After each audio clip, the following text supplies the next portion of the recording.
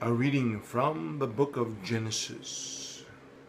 In those days the Lord said, The outcry against Sodom and Gomorrah is so great, and their sin so grave, that I must go down and see whether or not their actions fully correspond to the cry against them that comes to me.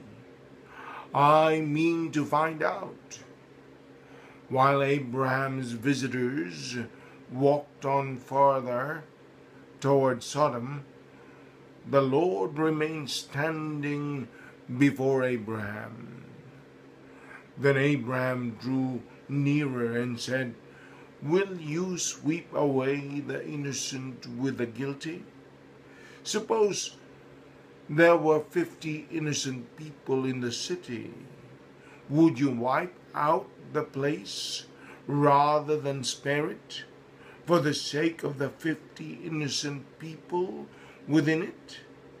Far be it from you to do such a thing, to make the innocent die with the guilty, so that the innocent and the guilty would be treated alike.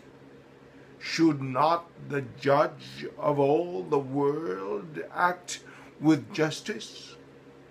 The Lord replied, If I find fifty innocent people in the city of Sodom, I will spare the whole place for their sake.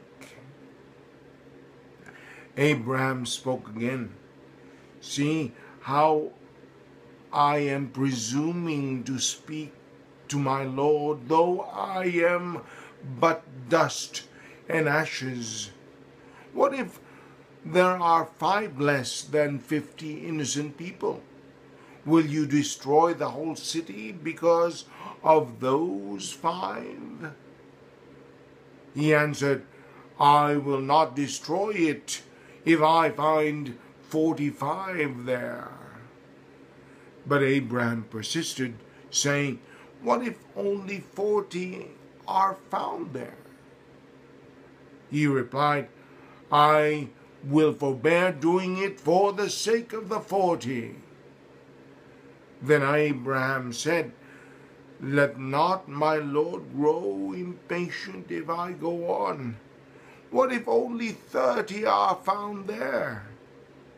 He replied, I will forbear doing it if I can find but thirty there. Still Abraham went on. Since I have thus dared to speak to my Lord, what if there are no more than twenty? The Lord answered, I will not destroy it for the sake of the twenty. But he still persisted. Please let not my Lord go grow angry if I speak up this last time. What if there are at least ten there? He replied, For the sake of those ten, I will not destroy it. The word of the Lord.